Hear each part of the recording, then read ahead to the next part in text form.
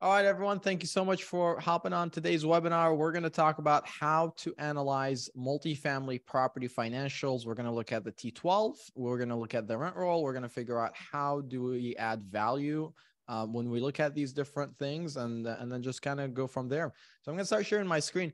The way I'm going to do it this time is we're not going to go through a presentation. I'm, I'm actually going to show you an actual rent roll, an actual T12 and um, that way we could go through an actual thing and you don't have to sit through you know a fake presentation that may or may not be relevant today. So anyway let me open up. Oh god there's so many things. Hold on. I got to move all this crap out of the way. All right. So uh, let's let's look at a deal that we actually bought end of uh, last year in december. It doesn't have the full 12 month financials it just has the past three months because obviously we closed on it in December, but it doesn't matter. It's going to be the same, except you, you know, in 12 months or I'm sorry, nine more months, you're going to see numbers all across rather than just in the past three months. But the idea is the same, the concept is the same. So we're just going to go through this because this will be um, easier to go through. I would love to do a deal that's on the market, but unfortunately, I'm not allowed to because we sign non-disclosure um, agreements whenever we get these documents. So I have to go over a deal that we own, otherwise I'd be violating the rules. So having said that, let's talk about what is what is a T12 and what is a rent roll uh, in the first place. So a T12, for those that don't know, basically means trailing 12. And what that means is it's basically the profit and loss statement of the past 12 months. So sometimes you might hear it called uh, T12. It might be called uh, trailing 12. It might be called uh, profit and loss statement, whatever, but it all means the exact same thing. Most people in the business refer to it as a T12.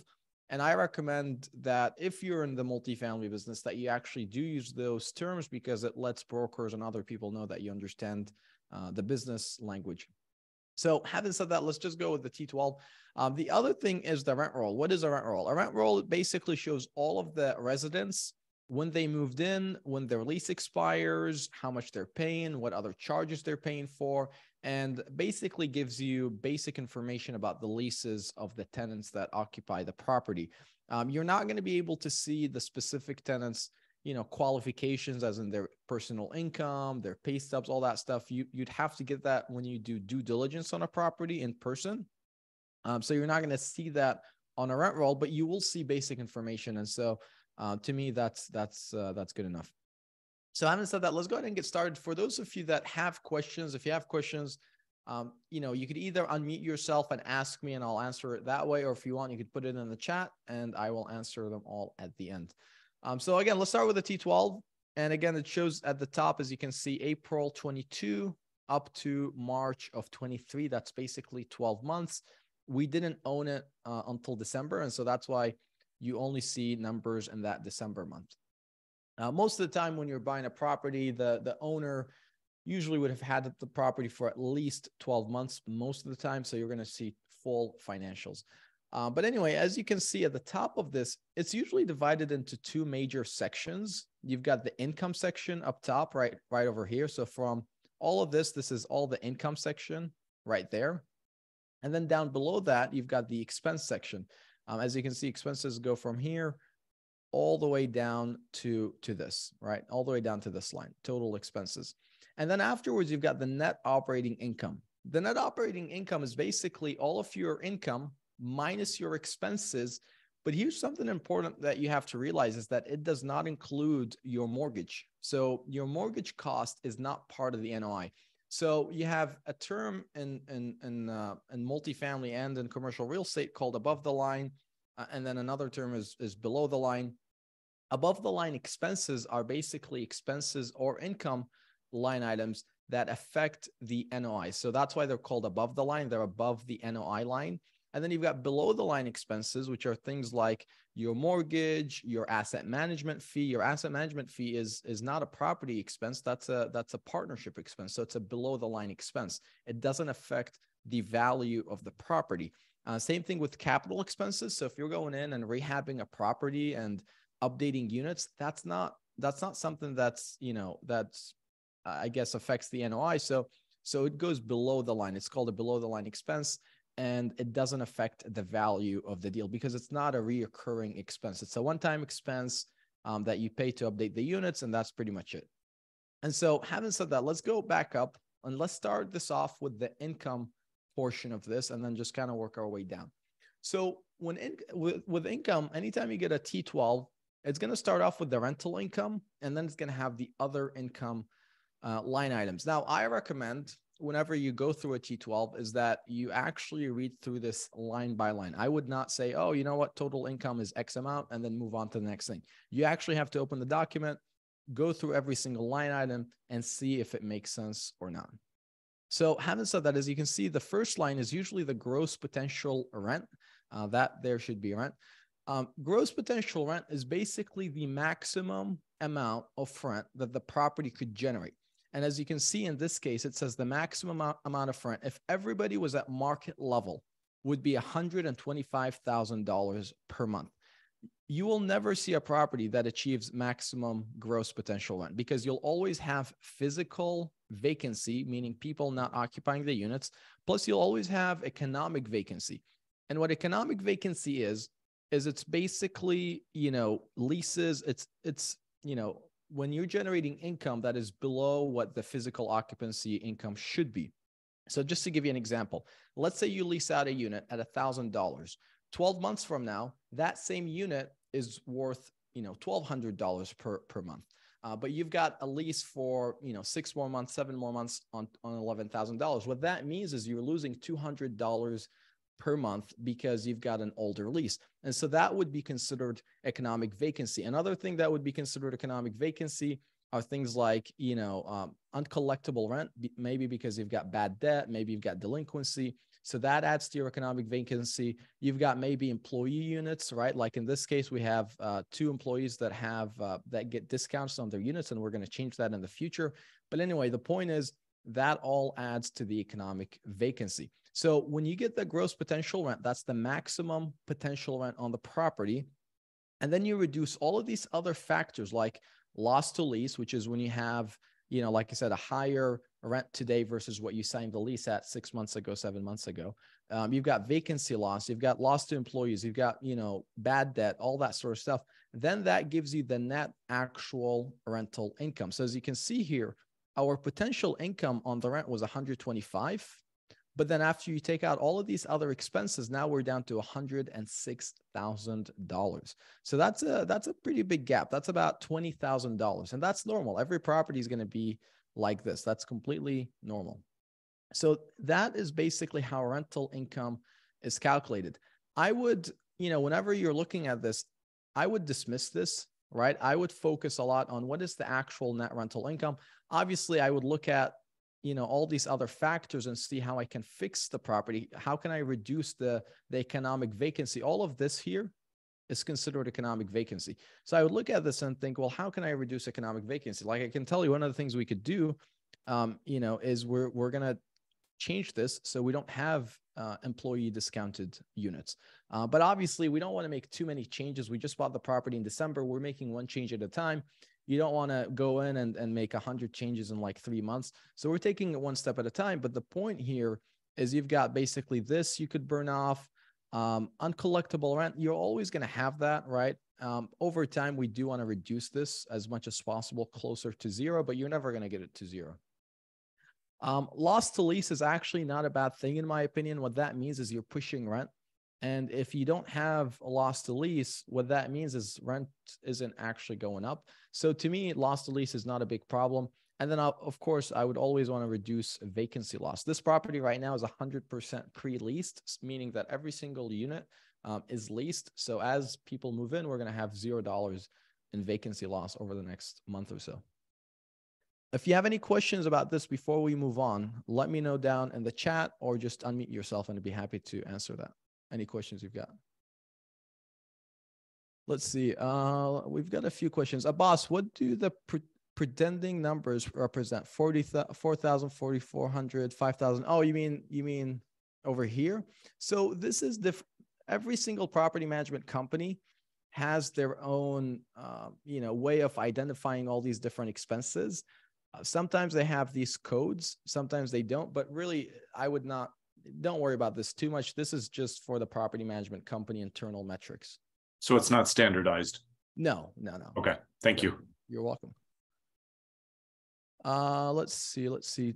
Uh, is that a standardized? No. Okay. So we'll move on. Can you clarify the difference between economic vacancy and loss to lease? So, Andrew, economic vacancy, oh, I got an answer. So, loss to lease is part of economic vacancy. All of these different things add up to economic vacancy. All right, cool. So, moving on from that, let's move on to other income. The next thing you want to look at is what other income sources does the property have? So, currently, they're charging application fees. As, as you can see, we've got you know higher application fees uh, in the last month because we had a lot of applicants. Uh, new late charges. This is basically if you've got a late late charge, somebody doesn't pay rent on time. These are always good. It's kind of like free money. Uh, miscellaneous income, month to month fees. This is if somebody's on a month to month lease. NSF charges, pet charges, right? 100 bucks per month. Pest control fee.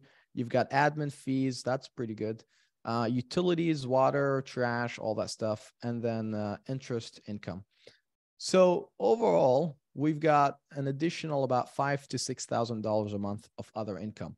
And so when you add your base rental income of 106,000 and then you add your, you know, your other income, that gives you your total income in this case of 112,000 for the month of March. The month prior to that it was 116 and then 106 back in January. And so that's basically how income gets calculated.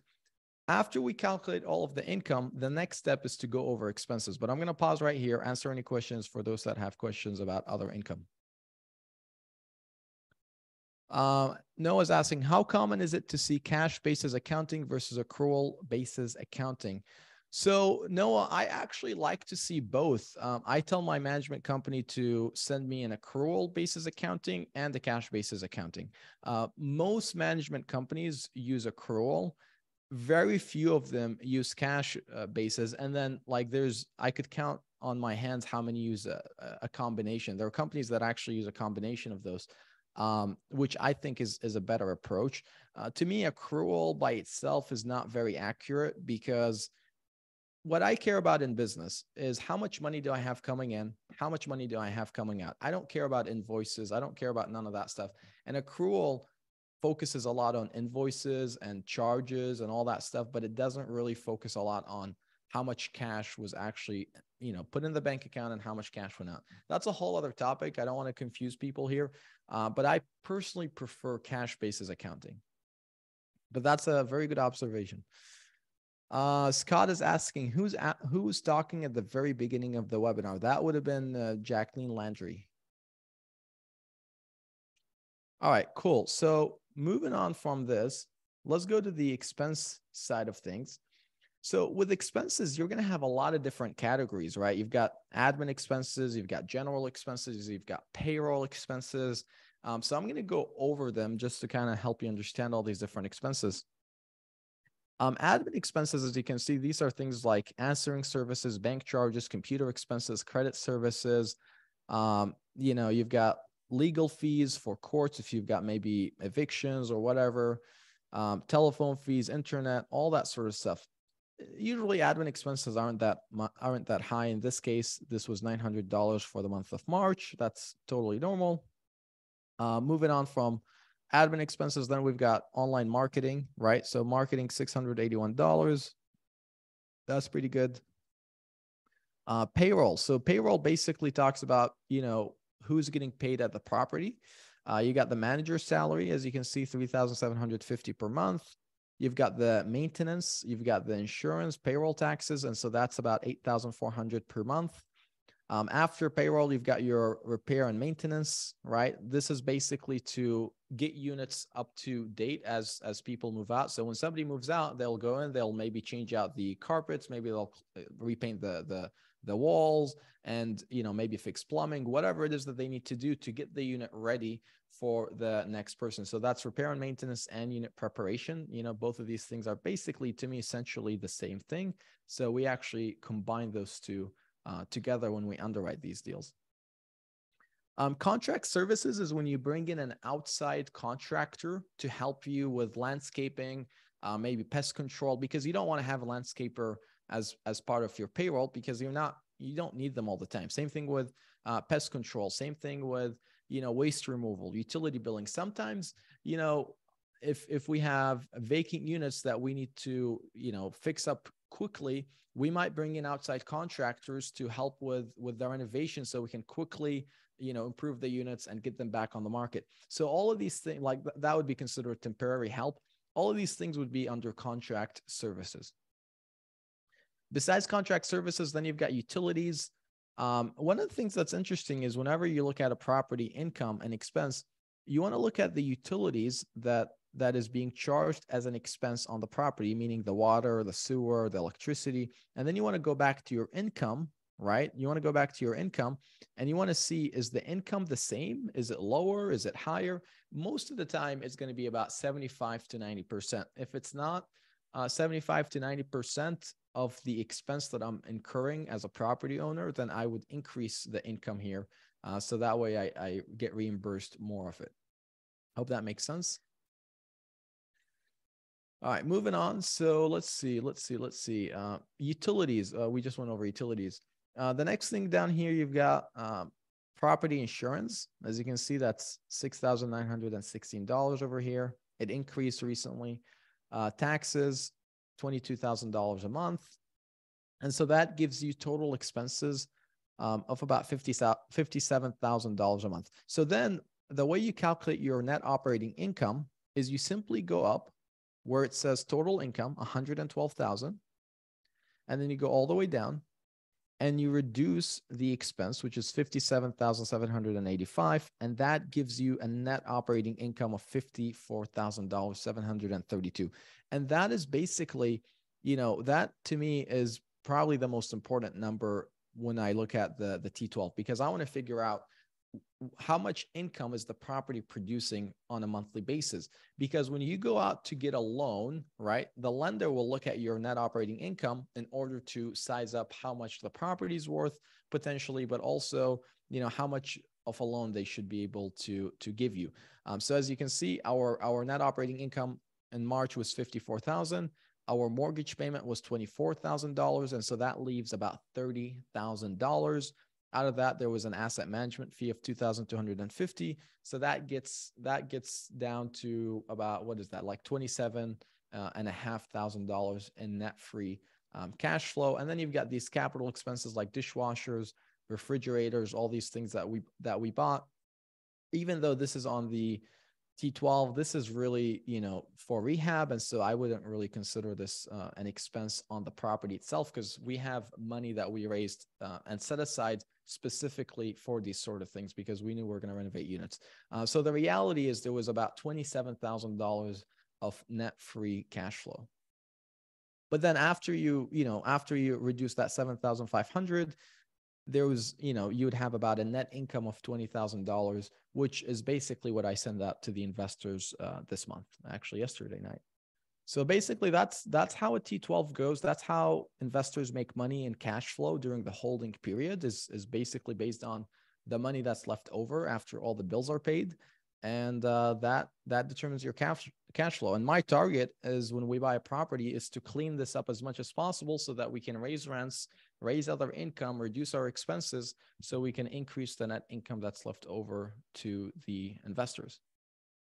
So I'll be taking questions before we move on to the rent roll, which is the next thing. Oh, boss, I have a quick question. Yep. When you were going through the different fees that would that could be associated, could be categorized as income, have you found a sweet spot where you're not getting too much pushback from tenants around, you know, this is really a fee heavy environment versus not charging the right amount for fees or not getting enough? Mm-hmm. Yeah, I mean, look, my my philosophy on it is you always want to keep increasing until you start getting pushback because really you, de- you never know what the what the maximum rent amount is you never know what the maximum other income charges you could add until you start getting pushback from tenants saying hey this is too much or maybe start getting lo- lower applicants you get less showings because we don't want to go below 90% occupancy obviously uh, but at the same time if you know if if you keep increasing things and people are paying with no no problem then you know you're not pushing uh, hard enough. Um, like i'll tell you when we bought this property we thought we could get rents up to 1550 uh, $1550 a month. Just yesterday we leased out a unit at $1625 so that's $75 above our projections and yet we're still 100% occupied or i'm sorry 100% pre-leased uh, meaning every person uh, every person that left and, and left a vacant unit that same unit has been now leased at a higher rent and so to me even though now we got to 1625 we could probably still push more because we're getting a lot of demand from tenants so there is no way to find out until you keep pushing and find out what people decide to do.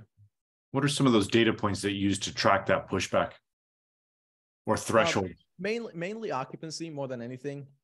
Occupancy, we look at renewals.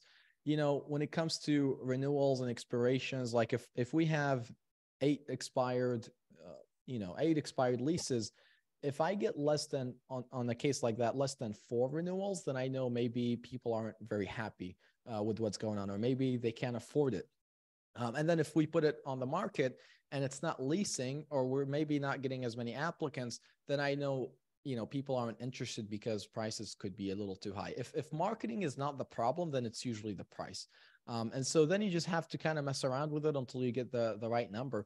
But you got to remember, you know, one of the things I like to do is we have our regional manager do uh, an in-person comp study every few months, every three months, every four months, because we got to push as much as possible. But the, at the end of the day, you know these tenants have alternatives you know maybe they're going to your neighbors uh, maybe your neighbors have lower rent maybe they have higher rent you really don't know. You got to push your property as much as possible and if things don't seem right for whatever reason maybe you're getting less occupancy or maybe you're getting less tenants then you know do an in-person market survey and figure out what other people are charging for their units. Sounds good. Thank you. You're welcome. Now when you're doing this prior to acquisition you're not going to really know exactly how much you could push up to and so what i do is you know i call the comps you know and uh, we just call ask how much they're they're they're charging uh, the different size bedrooms and, and and units that they have and all these different things and based on that, I set up my projections of, hey, look, I think on this deal, I can take rents up to this amount. I can charge for these other fees because I see what the comps are charging for. And then if, if the numbers make sense for me, then I fly out, see the property.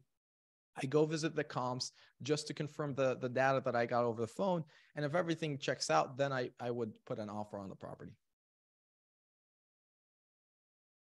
Cool. Uh, let's see. Um, why do you pay for both manager payroll and management fee? Um, so the manager payroll. So I guess let me explain this. In multifamily, multifamily is different than single family. In single family, you don't have on-site staff. So you pay a management company their fee, which could be 7%, usually to 10%. And that covers all of your management expenses pretty much. Um, in multifamily is different you you pay the management company about usually 3% to 5% depending on the size of the property 3 to 5% usually is the norm and then on top of that you have to pay for the on-site staff payroll whether it's the leasing agent you know the the the manager the maintenance people all these different roles uh, you have to pay out of the property because their 3% might you know might only be like $40,000 a year so it's not like a big amount all right, Brian is asking in rent control building uh, in LA 24 units, what are the best ways to increase rent slash other income? Think rent control freeze in LA until February 1, 2024. So, Brian, I don't buy in California for that purpose because I don't want to deal with rent control. Uh, for rents under market by $900, what are the best ways owners can bring rents closer to market, i.e., if tenant moves out, renovate unit? Yeah, I mean, you know, there's a lot of different strategies. You know, sometimes we look at units and we're like, look, you know, they're doing amazing marketing, they're just not updated. And if we update them like the comps are updated, we could get higher rents. Uh, and sometimes you look at a property like this property we bought, th- there was no marketing, there, there was zero marketing and on top of that, a lot of the units were classic. And so sometimes it's an operational fix, meaning you could go in, just put it on more websites and get more traffic that way. And sometimes you have to cosmetically update it. Uh, and sometimes you have to do both. You have to cosmetically update it and do better marketing in order to increase rents. So it really just kind of depends uh, on a property by property situation. Cool. Any other questions? No? All right, moving on. Uh, actually, one more. I'm fresh into the multifamily space. Can you talk about some of the initial conversations to get the seller engaged? So, uh, Dowden, I we don't talk to the sellers, we talk to brokers. And uh, that's how we source our deals. And so, because of that, we don't really have any conversations. This isn't focused on wholesaling multifamily. Uh, this is focused on buying multifamily real estate. All right, cool. So, hope that answers your question. Let's move on to the rent roll. So, the rent roll, like I said, basically has all of the different tenant names uh, I don't know if I'm supposed to be showing this or not, to be honest with you, but it is what it is. Uh, you've got all the different tenant names, the units, the unit type, square footage, market rent, rent, vacancy, all these different things, miscellaneous charges, and then that gives you the total charges over here. Um, and then it gives here you've got the move-in dates, the move-out date, lease, and and lease start. So what's important when you look at something like this? Uh, I'll tell you what's important for me is is these things. I'm going to highlight them. Um, obviously, I don't care about tenant name. Uh, what I care about is I care about unit type, square footage. Um, I care about rent, and I care about uh, move-in time frame. I care about lease start time frame, uh, and that's pretty much that's pretty much it. So let's look at all these different things uh, one by one. Why is unit type important? Because we want to group all of the units by type and figure out what are the latest rents they've been achieving. Um, so that's important. As you can see here, you get the B1, two bedroom, one and a half bath. That's a thousand and three square feet. And in our model, or I'm sorry, in, in our budget, it says the market rent is $1,600. Um, the current rent that's being charged uh, for, for this person is $1,300, as you can see. So there's a gap right? There's a gap. And this was before we bought the property. This was back in May. So they were achieving $1,300 a month rents. Uh, they added miscellaneous charges of $15. And so that brought the total charges of uh, $1,315. And uh, the lease started, as you can see, the lease started back in uh, May 24, 2022. And that's when the person moved in. So these are important. Why is that important? Because I want to figure out what are they getting on the latest leases that are getting, um, you know, that are moving in right now. So let me see if I can find us a newer lease from, say, you know, 2023 or something. So let's just kind of keep scrolling down. So this one, as you can see, uh, this one moved in March 10, 2023.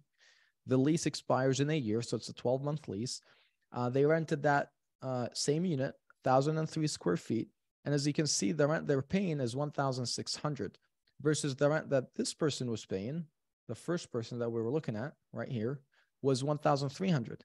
So that's about a, a $300 increase, right? $300 increase from what they were charging to what we are charging right now. And actually, you know, the the the units we're charging right now, it's it's even higher than this. So so that's basically what I look at. Whenever I'm looking at a property, I'm trying to figure out based on the latest strengths, what they have, what have they been achieving, because that will show me the gap that I need to clean up.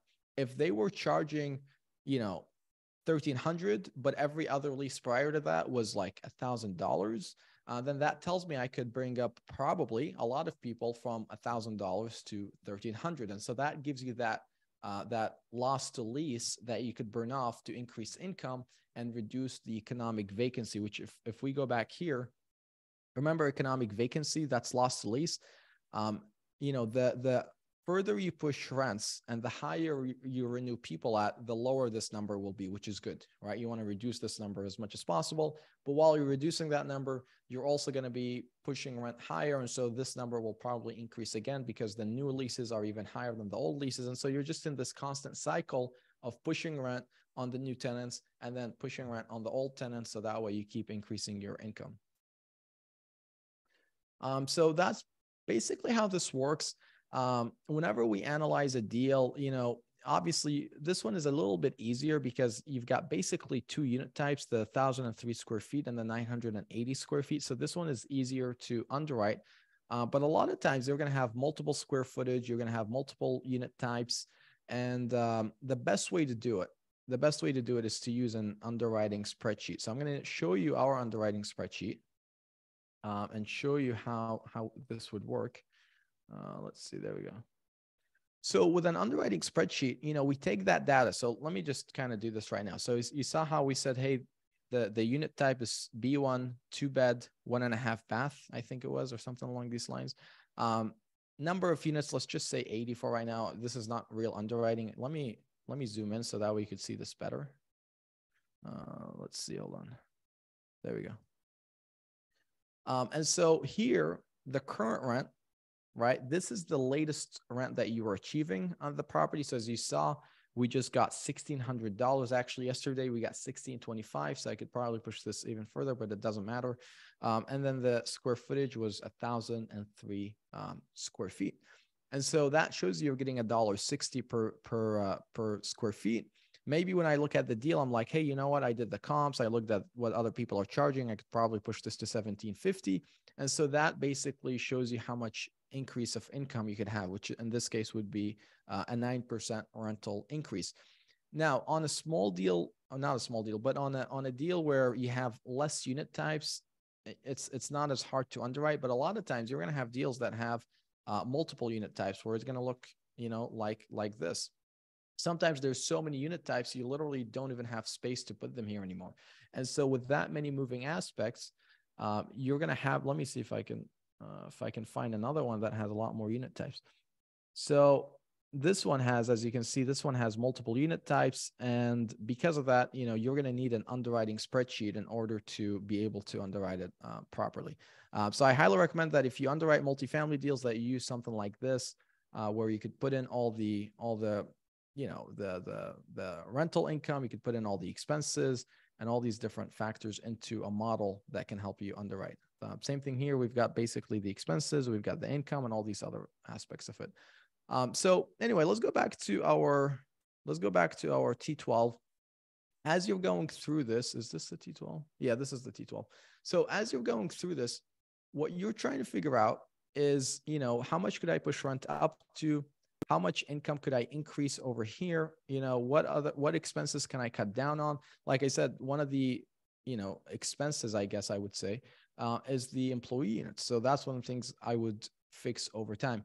Uh, on another deal we bought, we we saw that there was a, a, security guard expense, and to me, I didn't I didn't need a security guard, so that was one of the first expenses we cut down on. That was like thirty-five, forty thousand dollars a year. Um, sometimes you're going to see a printer cost of like six hundred bucks a month. It's the craziest thing ever. So all of these different things, you go through them, and you're trying to figure out what could you reduce uh, spending on. Um, so if I go through these, you know, all of this looks pretty clean so far. I don't really find anything odd here. Uh, let's just go through the rest of it. Management fee, obviously, this is kind of a higher expense, but it's 3%. So it is what it is, or 3.5%. Uh, yeah, I mean, there's nothing here to clean up really besides that. So in this property, the main goal is not to necessarily reduce expenses as much, but to increase income as much as possible because that's where the money is going to be made. It's not, there is no expense problem. There's an income problem on the property, which is why we bought it to increase income. So anyway, I hope that's helpful. Would love to answer any questions and, uh, you know, see if, if I could help in any other way. So if you've got a question, just raise your hand or unmute yourself. I'll answer any questions and uh, kind of go from there. Or you can just post them in chat. By chance, are those templates available? Blank ones just um, share so that we can start to understand what some of the, the data points we should be better understanding? When you say templates, what templates are you talking about? The um, the last one, especially the the model equity uh, that we saw where you're putting in the different types of units and you can see there's a lot of um, vernacular and terminology i think at least for me would be great to be, go research each one of those and better understand what it is and how it pertains to the bigger picture. Yeah so the model equity deal ana- analyzer is part of our mastermind. We've got a we've got basically a multi-family mastermind. For those that are interested in delving deeper into this stuff um, and basically, the multifamily mastermind that we've got teaches you all of the different things you need to understand to buy your first multifamily deal. Uh, part of that is you get the template. I'm gonna let me share my screen. So part of that is you get 25 hours of content that teaches you literally everything you need to know to buy your first deal. But on top of that, obviously, you get the multifamily deal analyzer, you get a broker database, um, of all the different brokers in major markets to build relationships. And then if you do find a deal that you're interested in, you could submit it to us and we could review it with you to see if uh, if there are any red flags that you should be aware of. Um, so if you're interested in learning more about that, I- am going to put the website and the link, or I'm sorry, in the chat. And uh, you could go to the website, book a 15 minute call, and see if it's the right fit for you or not. So modelequity.com forward slash mastermind. All right, cool. Um, YL is asking, YL, I'm curious what your real name is. Uh, is it better to buy a low cap property that has income potential for a lower price, or is it better to buy a high cap rate but at a higher price? Um, YL, you know, there is no way to just put out a blanket statement that says yes or no. I would say it really depends on the property and what you could do with it. Um, to me, cap rate doesn't matter too much if I could increase income uh, quickly to get to market levels. Uh, because I'll just give you an example. Let's say you're looking at a 100 unit deal, and I'm just going to give you an extreme example. Let's say that 100 unit deal has zero tenants. In a case like that, you're going to have obviously uh, almost a non existent cap rate, but let's say a very low cap rate. And so, you know, if you just value a deal based on cap rate, that might be like a terrible deal. But what if the deal was only ten thousand dollars per unit? Then it might be a great deal if you could buy it and and put in tenants and renovate it and do all these things. So to me, it's not about the cap rates. What matters is what could I do to the property and could I achieve the investor returns that we want to achieve. Uh, cool. Uh, Jackie, Hey, Abbas. So, um, in, in the last deal that, that you looked at, the Iowa deal, there was probably, um, I took your advice and I went through and itemized all of the different, um, apartment types and there was over sixty. Oh my God. There was just a few that had the same square footage. So at the end of the day, how would you group those to then determine what to put in the pro forma? Would you do an average? Um, right? Literally, some of them were like 765, some of them were 766, some of them were 768. Yeah. So they were all over the, all over the board. So just wanted to know, like in the future, if I happen to um, see that again, how do I group them? Yeah. I mean, here's the thing. That deal was a very unique deal. Just to give everybody some background, Jackie's part of the mastermind, by the way. But that deal, it was a it was a factory, right? It was a factory it was an uh, an old historic building turned into apartments. Yeah, yeah. So so it's it's a very unique situation where it wasn't built as apartments, and so because of that, all these rooms were different, all the bedrooms were different, all the units were different, and so um, you couldn't really group them up together because they didn't have unit types. It wasn't designed that way. Um, so I would say it's hard to answer that. I would probably, if I ran into a deal like that, I would probably group them based on um, you know, how close they are in square footage. Like if there was multiple ones that are at 740, 750, 760, I'd probably, you know, put these together as long as they have the same bedroom count. Uh, but the reality is that's the first de- we underwrite literally. I mean, we've underwritten thousands of deals, and that's the first deal I've run into that has that many unit types. So I don't think that's a problem you're going to run into too often. Thanks. So I, yeah, I wouldn't really, I wouldn't design a strategy for that one specific property. Hey, Abbas, I got a quick question. Could you, in that scenario, could you just look at strictly the price per square footage and come up with some kind of an average? Yeah, but the, you mean when with rent? But the thing is, you know, tenants don't look at price per square feet. A lot of times they they look at comps, but they also prioritize. From what I've noticed, they prioritize bedrooms.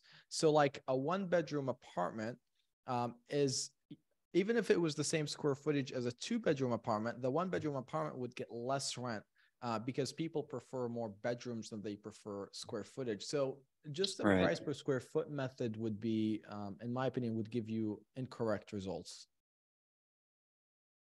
Hey, boss, I had one more question on that with respect to um, uh, taxes. So mm-hmm. in this particular instance, um, it's also very unique. There was a tax abatement because it was historic property. Right. So they were given a lower tax rate for a number of years. So um, how do you put that in the tool? Because every single year the taxes will increase, but by a lot less. And at some point that that gift um, that the municipality gives you ends, right? So how do you put that in your tool um, to make sure that you're accurately underwriting for that? So yeah, I mean, this is a very unique situation. But if I had to underwrite it, if I had to underwrite it, I would say uh, one way to do it is you could go. Let me just open up the underwriting tool. Uh, you could go to uh, the cash flow model tab, Mhm. and oh, let me see. If you zoom in, if I zoom in, um, there's a line item that says non non op expenses. So these are kind of like you know maybe one time expenses or whatever that you could put in here for year one through year six. Um, so maybe you know you're expecting. Wait, are you expecting it to increase or decrease over time? Increase. increase yeah so maybe here i would say look if if you're projecting uh, a $5000 increase here and then maybe a $10000 increase here you could do that um, another way to do it is to use this uh, and this is what we actually use is we're like hey look taxes are going to be let me zoom in again um, so this is specific i guess for you know uh, texas uh, but you could really use it for anything. So here we could say, look, taxes year one are going to be 400,000. Year two, they're going to be 425,000. Um, you know, and then maybe after year three, you could say, look, they're going to go up by 3%, 3%, 3%. So you could, you could use this as well, or you could, you could use this right here. Okay, cool. Thank you. You're welcome. Cool. Any other questions? Um, are all of the items in the expenses section tax deductible? Yes, 100%. Um, so those definitely are, you know, they reduce your income. So for sure. All right. Any other questions? Anybody else? I know this webinar was a, a lot more detailed and a lot more nuanced than we normally do, but I think these are helpful. Yeah. Hey, hey, Abbas Sherman, man, how you doing? Doing well. How are you, Sherman? Hey, real quick, where do we go in the future to watch these uh webinars? So they're actually all on my YouTube. Um, if you go on YouTube and you type in my name, Abbas Mohammed, you're going to be able to find all the all the previous webinars. When you click on videos, you can see anything that's like 45 minutes, an hour long is is a webinar. Sounds good. Yep. So sorry, Abbas, I do have one more question. Yeah, yeah, based on. Our, our review of the underwriting tool. So again, with this being a unique property, one of the things that you mentioned is if the piping, the, the water, the water piping is done with iron pipe versus copper pipe, you should not try to institute low flow toilets um, or, or, you know, energy effi- or um, water efficient shower heads. Um, so we found the answer to that, and it is copper for the most part, and then plastic going into into each of the units. So would that still constitute as a water conserv? Would would that still be something that you would do? Is institute the the low flow toilets and the shower heads? Good question. So just to give everybody some background on that, um, whenever you buy a property, one of the things you could do on older apartments is you could bring in what's called um, a water savings program. So they would take the toilets, they would take the showers, and they would swap them out for other toilets and other shower heads and all these things that uh, that spend less water. And especially if you if the landlord is paying for the water, then that's a great amount of savings for you, um, which reduces your expenses, which then adds value to your deal.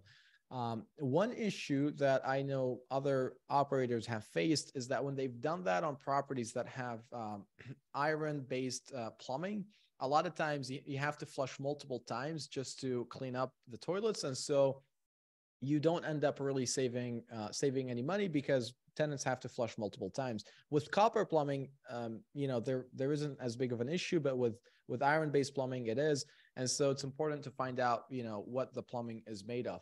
Uh, now the question is, you know, this is majority of it is is copper, but then some parts are plastic, and so does that affect it? I would say I would ask the property, uh, I would ask the the water savings company and see if they ran into that. I would I would think that's a very unique situation as well because usually it's either iron or it's plumbing. So I would check with the water savings company, but just keep in mind that they get paid when they sell you something. So maybe check with the water savings company and maybe see if, if you could find a contractor that knows, you know, this stuff and, and if they could give you some color on it. Uh, but I wouldn't be the expert on that, but that's definitely something I would try to get an answer on before I put that in my underwriting. Thank you. So I should play the lottery tonight. There's so many moving parts with that deal. It's crazy. Thanks. You're welcome, of course. Any other questions? Anybody else? Hey, Abbas. So uh, my question is, how, just for the sake of uh, comparing to the other buildings, to, to the comps, how easy or hard is it to get like their expenses? Do they share? I mean, or is there any website that uh, you can get the average uh, for those buildings in that area or no? How, how, how, how do you, how do you do that? Yeah, so so there is really no website to do it, um, you're not really going to be able to get someone else's expenses because a lot of times I, they're just they're not going to share those, of course. Um, but what you can do is you can find out how much rent they're charging and and you know what other charges they've got at the property and the way to do that is to basically call and or visit them in person and basically ask that way that's actually we have a whole module filmed on how to do that. Uh, but basically, you know, what I do is I just call, I ask the the leasing staff, and I get and we have a way of doing it to to you know get information effectively but that's how we do it. And then you know we get we get what the other rents are at and then we compare them to what the current property rents are. So you have to do due diligence basically manually. There is no way of doing it you know automatically. However i will say this. If you are focused on a specific market, like we're focused on on Dallas, um, a lot of times, you know, we we might be underwriting a deal here, but we've underwritten multiple deals in the vicinity. So even though you know I'm not buying the comp, I might I might have an underwriting from six months ago, from 12 months ago, where I've been, I've looked at the T12, I looked at the rent roll. So I pull those up and I look at, you know, what their expenses were and what their rental income is and all that sort of stuff. Obviously, I would still call to get the new, new rents, but that's that's a good way like we've got we've got so many underwritings in our database now because we've underwritten so many deals. I could pull up a lot of different comps that we've underwritten whenever i look at a property. Okay. Thank you. You're welcome. Any other questions? Anybody else? No? Last call? No questions? Very cool. So for those that want to see deals and passively invest in multifamily, maybe you, you look at this and you're like, you know what, this is too much work. I really don't want to do it on my own. You could go on our website, modelequity.com. And if you register on our website, you could see our future investment offerings. And so you could, you know, book a call with me, invest in future deals passively so you don't have to do all the work yourself. Um, so if you go on our website, modelequity.com, you could register for that. And if you're interested in finding out more information about our mastermind and learn how to buy multifamily deals actively and book a call with me for free again to see if it's the right fit for you or not. You could go to modelequity.com forward slash mastermind and you could book a 15 minute call. But anyway i hope this has been helpful. If you decide to book a call great. If not i'll see you all next week on tuesday. Appreciate you coming on. Thank you. See you